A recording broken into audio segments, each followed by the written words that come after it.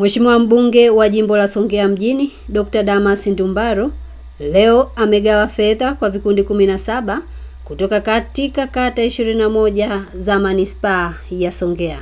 Hii ni baada ya kuona umuhimu wa kuwawezesha wananchi wake waweze kujikwamua kiuchumi kupitia ujasiriamali. Hafla hiyo ambaye mgeni rasmi alikuwa ni Mheshimiwa Michael Mbano ambaye ni mstahiki meya wa manispaa ya Songea, naye aliweza kuwaeleza wanavikundi ni namna gani mbunge wa jimbo la Songea mjini anawathamini na kuwaamini, kwani amewapa fedha ambazo hazina marejesho. Na jambo hilo, mimi sina wasiwasi na yeye, kwa sababu nafahamu taarifa, waratibu wenu wanafahamu na kazi zenu zinafanyika, lakini nataka pamoja kwamba hizo watu wengine wanaweza kuchukua kama ni fedha kidogo, lakini kama tuna dhabiti ya kujikomboa shilingi elfu hamsini zinaweza zikakomboa kutoka hapa na mbele. Lakini naambiwa vikundi hivi vimepata kati ya shilingi laki tano na wastani wa shilingi milioni mbili, wengine wamepata zaidi ya milioni mbili kati ya ukubwa wa kundi, lakini ukubwa wa shughuli zao. Naomba mtumie fursa hii ya hizi pesa zitubadilishe kutoka hapa tulipo tuende mbele tusiwe na utaratibu ule ule, kwa sababu kama nitaonyesha mabadiliko haitakuwa na faida tena kuingiza hizi fedha katika vikundi hivyo. Kwa hiyo tumpe nafasi hiyo au tumpe hamu mheshimiwa mbunge aweze kutafuta fedha zaidi kusudi makundi mengine na ikiwezekana hata yeye uweze kufikiwa kwa kiasi kikubwa zaidi. Sawa jamani? Kwa hiyo ni matumaini yangu jambo hili mtalitumia vile vile kuhakikisha kwamba mnaweza kunawezesha watu wengine, kwa sababu nyinyi mkiwezesha kiuchumi, ina maana mmewezesha familia zenu zitakuwa zina kiwango cha maisha bora, watoto wasome, eh, watoto wapate lishe. Tuna shida ya utapiamlo inatokana na nini? Pengine na hali yetu ya uchumi. Sasa tutumie fursa hii, sio kwenda kununua nyama. Ah, hapana. Tukiboresha maisha, tuboreshe na maisha ya familia zetu. Nadhani nanielewa. Eh, hapo nadhani nia yao au mtu wangu au hivyo, mheshimiwa mbunge ni kuona wananchi wa jimbo wanakuwa kiuchumi. Kwa hiyo naomba tuungane naye katika dhamira hii njema. Kwa wale ambao kupata changamoto kama tulivyoambiwa na katibu katika taarifa, nitoe wito bado tuendelee kuwapitia ili zile changamoto zao zimalize, na pale muda unapofika tuweze kuangalia namna gani na wao wanafaidika na ruzuku hii ya mheshimiwa mbunge, lakini kupitia kwenu nitoe vile vile taarifa kwamba halmashauri ya manispaa nayo imetoa mikopo. Sisi mikopo yetu sio kama hii ruzuku ya mheshimiwa. Sisi mikopo yetu ukikopesha shilingi milioni mbili unarudisha shilingi milioni mbili, haina riba.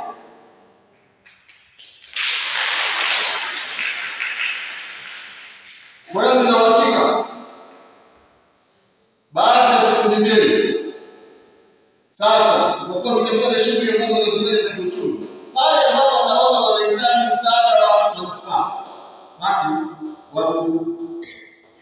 yuko mtaalamu na hizo fedha zipo, sababu za kwenye bajeti.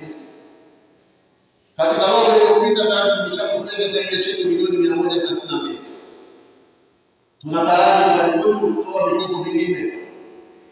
Inawezekana hiyo ni msimu wa wafaidikaji katika makundi hayo, lakini kundi la kina mama watafaidika, kundi la vijana watafaidika na kundi la walemavu. Kwa hiyo nitoe wito hasa kwa kinamama ambao sisi tunawapenda sana, wajitahidi kutumia fursa hii ya kupata vikopo kutoka kwenye manispaa yao, lakini jumla ya kiasi cha shilingi milioni kumi na moja na laki tano zimekabidhiwa kwa vikundi hivyo kwa lengo la kuwainua katika shughuli zao za kujiingizia kipato. Vikundi vilivyopata fedha hizo ni Kikundi cha Amani Group kutoka Kawanyaki kimeingiziwa shilingi laki tano. Kikundi cha Kongo Bank kutoka Ruvuma kimeingiziwa shilingi laki tano. Kikundi cha Kupambana kutoka Kitele kimeingiziwa shilingi laki tano. Kikundi cha Amani Mshikamano kimeingiziwa shilingi laki tano. Kikundi cha Kimaanishi kutoka kata ya kimeingiziwa shilingi laki tano. Kikundi cha Mungu kutoka kwa Mbili shilingi laki tano. Kikundi cha Mungu kutoka Lisaboni shilingi laki tano. Kikundi cha Zakwaya kutoka kimeingiziwa shilingi laki tano.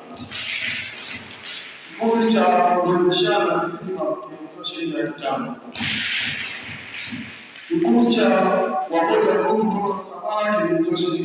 Mratibu mkuu wa vikundi Bi Alela Kapinga naye alikuwa na haya ya kusema kuhusiana na tukio hili la leo. Majina naitwa Alela Yazidi Kapinga, mm -hmm.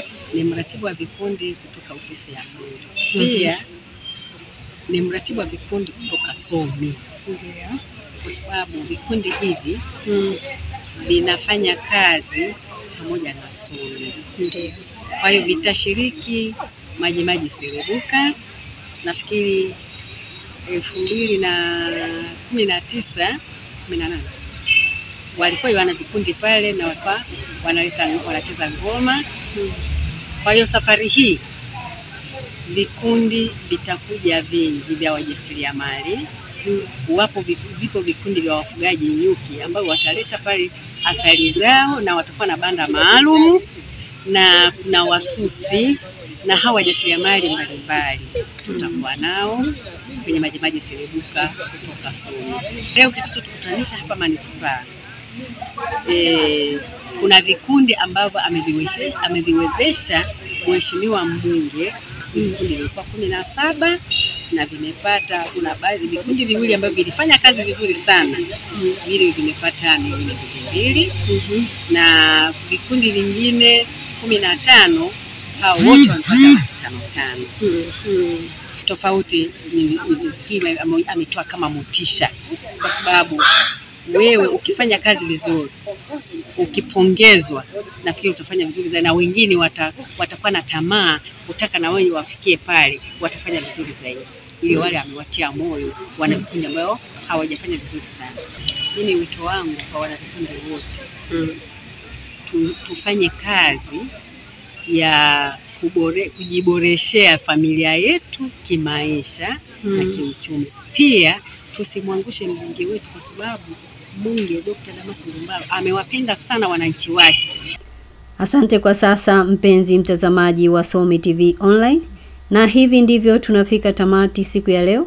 Usisahau kuungana nasi katika vipindi na taarifa mbalimbali zinazoendelea kuletwa kwenu hapa Somi TV Online, lakini pia usisahau kutufuata katika kurasa zetu za Facebook pamoja na Instagram kwa jina la Somi TV Online, na usisahau kusubscribe katika YouTube channel yetu ambayo inajulikana kwa jina la Somi TV Online, na mimi ni Reina Frida.